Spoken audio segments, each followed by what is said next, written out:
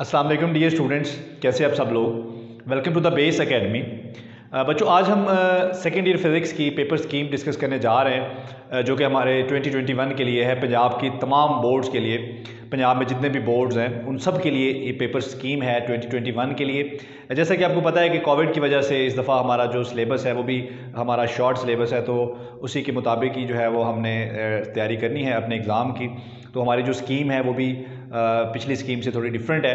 तो इसमें हम चैप्टर वाइज भी डिस्कस करेंगे और एज अ होल भी डिस्कस करेंगे ताकि दोनों तरह से आपको ये आसानी हो जाए कि हम किस किस चैप्टर को कितनी इंपॉर्टेंस दें और किस चैप्टर पे ज़्यादा मेहनत करें किस चैप्टर पे कम मेहनत करें और पहले किस चैप्टर को तैयार करें बाद में किस चैप्टर को तैयार करें और उसके साथ साथ जो आ, मतलब अच्छे बच्चे हैं जिन्होंने फुल मार्क्स के लिए जो है वो मेहनत करना होती है उसके लिए तो फिर कोई उसमें चॉइस नहीं होती उन्होंने तो फुल ही उसको तैयार करना होता है लेकिन कुछ मेरे जैसे बच्चे भी होते हैं जिन्होंने जो है वो सिर्फ़ पास ही होना होता है तो हम इसको ज़रा इस तरह से डिस्कस करेंगे कि आपको ये भी आइडिया हो जाएगा कि एक चैप्टर में से कितने मार्क्स का पेपर आ, आता है आना है स्कीम के मुताबिक। कम से कम कितने मार्क्स का आना है ज़्यादा से ज़्यादा कितने मार्क्स का आना है। और उसके साथ साथ एज अ होल जो है वो किस किस चैप्टर से कितने कितने क्वेश्चन आने हैं। तो हम पेपर स्कीम को भी देखेंगे और साथ में पेयरिंग को भी देखेंगे। तो वो तमाम चीज़ें इंशाल्लाह हम यहाँ पर डिस्कस करते हैं।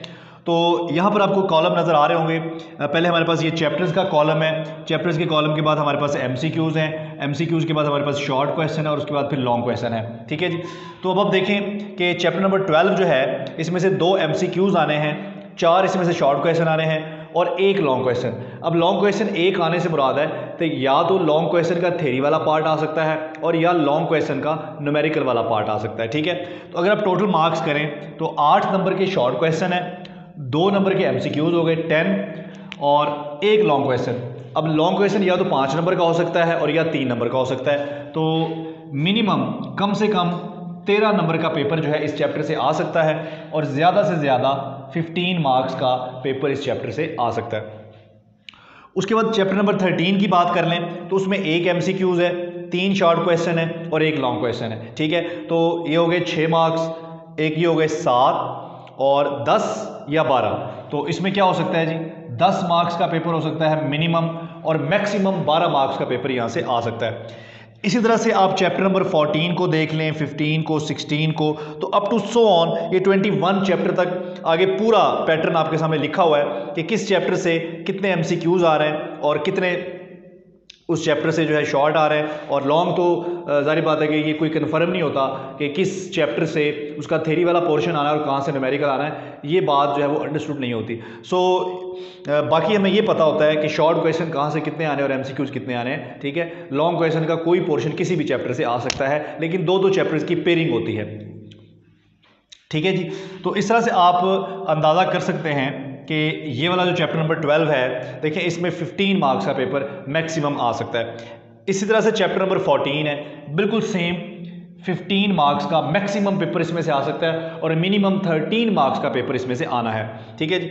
और उसके बाद हमारे पास चैप्टर नंबर 15 आप देख रहे हैं जी। बिल्कुल ऐसे ही मिनिमम 13 और मैक्सिमम 15 मार्क्स का पेपर जो है वो यहाँ से आ सकता है, ठीक है? इसी तरह से एक और चैप्टर है हमारे पास एंड पे चैप्टर नंबर 21 तो वहाँ से भी ऐसे ही है 13 15 की रेशो तो यहाँ से आपको आइडिया हो जाएगा कि किस चैप्टर से कितने मार्क्स का हमारा पेपर बनेगा, ठीक है जी? तो इससे हमें तैयारी करने में ज़्यादा आसानी होगी कि किन किन चैप्टर्स को हम किस किस कम्बिनेशन के साथ तैयार करें। अच्छा ये तो अब हम आ जाते हैं जी पेयरिंग पे। कि शॉर्ट क्वेश्चन की पेयरिंग किस तरह से हुई है और लॉन्ग क्वेश्चन की पेयरिंग किस तरह से हुई है। इसमें जो क्वेश्चन नंबर टू है क्वेश्चन नंबर वन तो आपको पता है एमसीक्यूज होता है, ठीक है? क्वेश्चन नंबर वन हमारा एमसीक्यूज होता है और टोटल हमारे पास सेवनटीन एमसीक्यूज आने हैं पेपर में। क्वेश्चन नंबर टू से हमारे शॉर्ट क्वेश्चन स्टार्ट होते हैं। तो क्वेश्चन नंबर टू जो है चैप्टर नंबर ट्वेल्व फोर्टीन और फिफ्टीन इन तीनों चैप्टर्स को मिलाकर बनाया गया है। इसमें हर चैप्टर में से चार चार शॉर्ट क्वेश्चन आने हैं। तो टोटल बारह आने हैं। अटैम्प्ट आपने कितने करने हैं? एट करने हैं। इसी तरह से अगर क्वेश्चन नंबर थ्री को देखा जाए तो ये भी शॉर्ट क्वेश्चन का चैप्टर है। ठीक है? सॉरी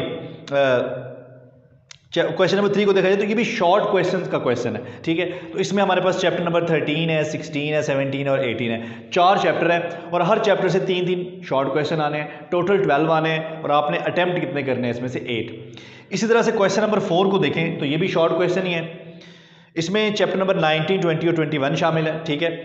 नाइनटीन में से थ्री हैं ट्वेंटी में से टू हैं और ट्वेंटी वन में से फोर शॉर्ट क्वेश्चन है तो यूँ आपको टोटल नाइन शॉर्ट क्वेश्चन आएँगे, जिसमें से आपने अटैम्प्ट करने हैं सिक्स अब ये तीनों के शॉर्ट क्वेश्चन मिलाकर टोटल शॉर्ट क्वेश्चन आए हैं थर्टी थ्री और अटैम्प्ट करने हैं आपने ट्वेंटी टू तो इसके मार्क्स कितने बनेंगे? फोर्टी फोर इसका मतलब है कि जब आपने एग्ज़ाम की तैयारी करनी है तो सबसे पहले जो सबसे बड़ा पोर्शन है ना आपके पेपर में, वो शॉर्ट क्वेश्चन का है।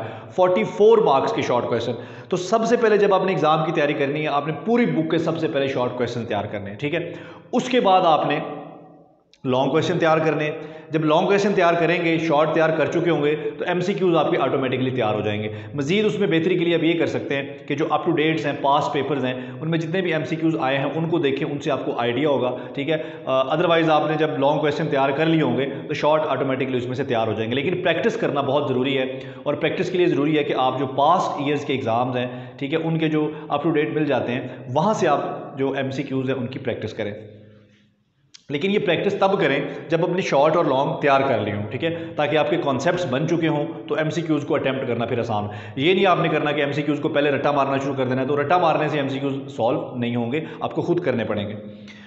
उसके बाद हम लॉन्ग क्वेश्चन के ऊपर अगर आ जाएँ तो हमारे पास पाँच लॉन्ग क्वेश्चन है जिसमें से आपने तीन अटैम्प्ट करने हैं। देखें क्वेश्चन नंबर फाइव जो है, ये चैप्टर ट्वेल्व और थर्टीन को मिलाकर बनाया गया है, ठीक है? इसमें कोई पता नहीं कि थेरी किसमें से आनी है और न्यूमेरिकल किसमें से आना है। इस तरह क्वेश्चन सिक्स फोर्टीन फिफ्टीन को मिला के सेवन जो है वो सिक्सटीन और एटीन को मिला के क्वेश्चन नंबर एट जो है वो सेवनटीन और ट्वेंटी वन को मिला के, और क्वेश्चन नंबर नाइन जो है वो नाइनटीन और ट्वेंटी को मिला के।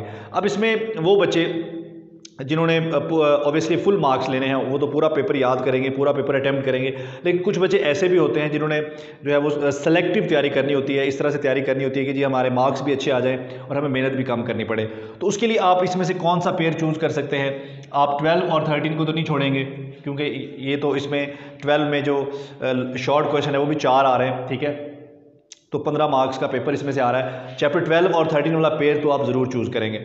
उसके बाद आपके पास ऑप्शन है चैप्टर फोर्टीन और फिफ्टीन ठीक है?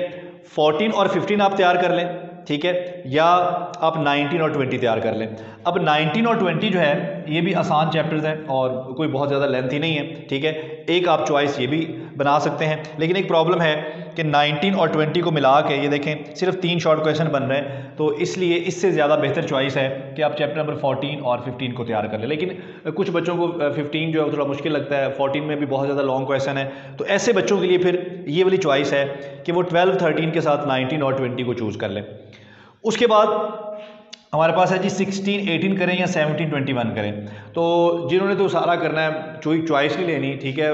वो तो सारे करेंगे। लेकिन अगर किसी ने चॉइस लेनी है और कम मेहनत करनी है नंबर भी अच्छे लेने हैं तो फिर इन दोनों में से भी हमारे पास ऑप्शन है कि हम 16 और 18 को कर लें बजाय 70 और 21 के, क्योंकि 21 भी लेंथी चैप्टर है। 16 और 18 जो है, अगर आप ए को देखें, अपना स्मार्ट सिलेबस को देखें तो बहुत ही कम जो है वो इसमें टॉपिक हैं सिक्सटीन एटीन वाले चैप्टर में।